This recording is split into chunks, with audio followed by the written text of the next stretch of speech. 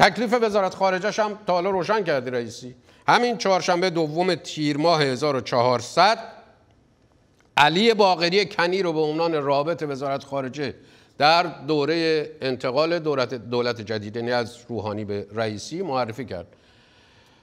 رئیسی که سال 97 شد رئیس قوه قضاییه علی باقری کنی رو کرد معاون امور بین الملل قوه قضاییه. شش سال آخر دوره احمدی نژاد این آدم که دیدین گل پسر وردست سعید جلیلی بود در تیم مذاکره کننده هسته ای از 86 تا 92 حاصل چی شد؟ تشدید تنش در روابط جمهوری اسلامی با بیشتر کشورهای جهان. صدور سه قطعنامه مهم شورای امنیت سازمان ملل علیه ایران که ایران برد تا آستانه جنگ. بعد این آدم قراره بشه وزیر خارجه دولت سید محرومان و سیاست های او رو اجرا بکنه. البته اگه بشه اسم این چیزها رو واقعا گذاشت سیاست.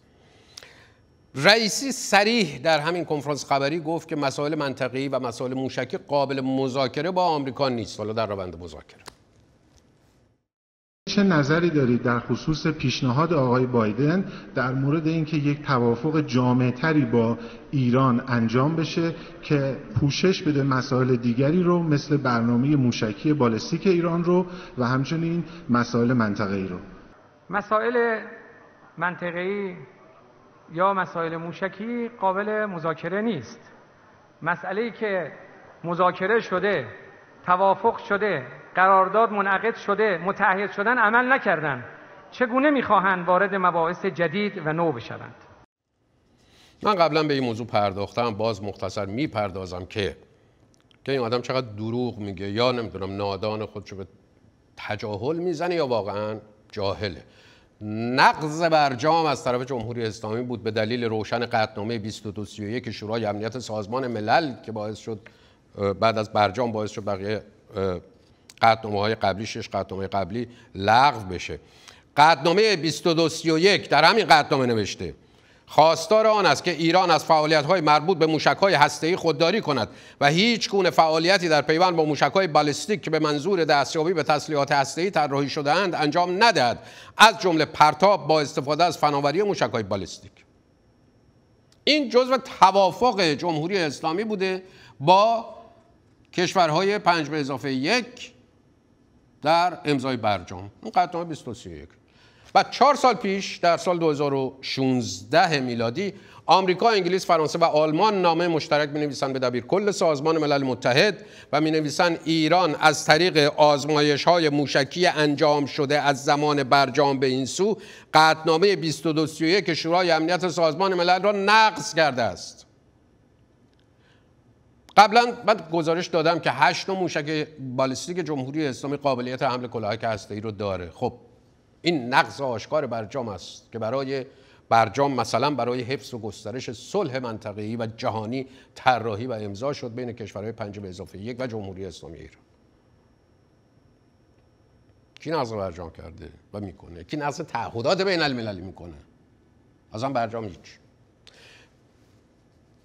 تلویزیون پرس تیوی که مال خود جمهوری اسلامی است انگلیسی زبان. درباره برنامه هسته جمهوری اسلامی می‌پرسه از رئیسی تو همین کنفرانس خبری و تاثیر این برنامه های هسته در مذاکرات وین که در جریان است. رئیسی طبق معمول مکرر یه ترجیح بندی رو تکرار می‌کنه. آمریکا نقض کرده اروپاییان به تعهداتشون عمل نکردن. بارها تو این کنفرانس خبری یه ساعته صد بار شنیدیم از این آدم.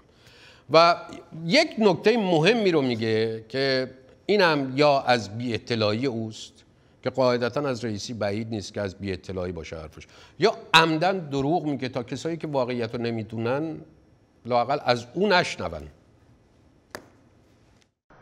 و اقدامات جمهوری اسلامی تا کنون اقداماتی بوده که بر اساس اعلام های سازمان های بین کاملا در چارچوب قوانین و مقررات انجام شده.